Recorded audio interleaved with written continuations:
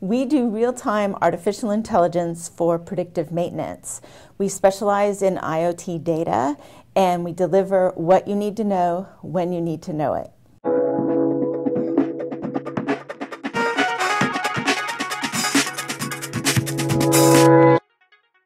Predictive maintenance basically means uh, fixing something before it's broken. The way it's done traditionally, people go out and look at machines to see if they're operating okay.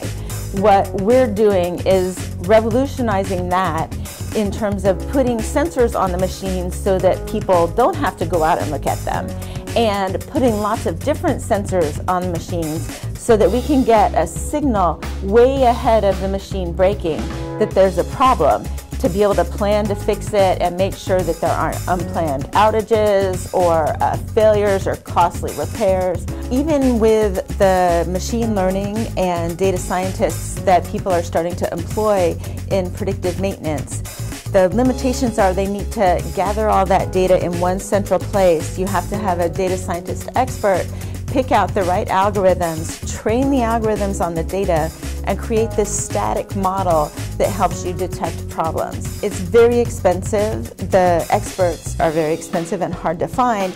It takes a long time for that process to happen, and it takes a long time to roll out.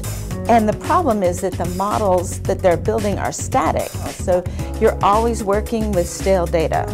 The key things that differentiate us are we're actually not a machine learning system, we're an artificial intelligence, and the system learns. One of the most important things that it learns based on the data that it gets is what normal is.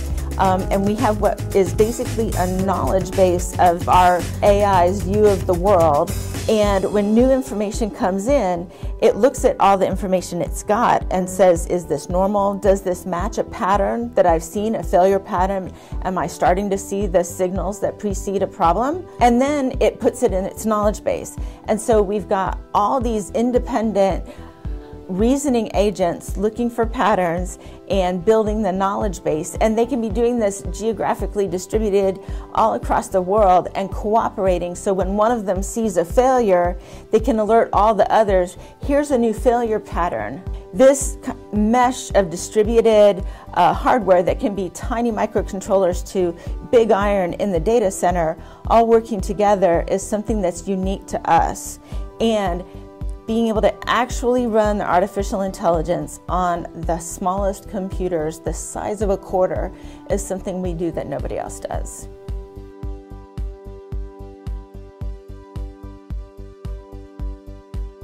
We've got customers right now. Our biggest customers are telcos that are basically communication providers for the Internet of Things. Uh, that includes Orange and Stream Technologies. We also have customers in the pipeline in a variety of IoT verticals.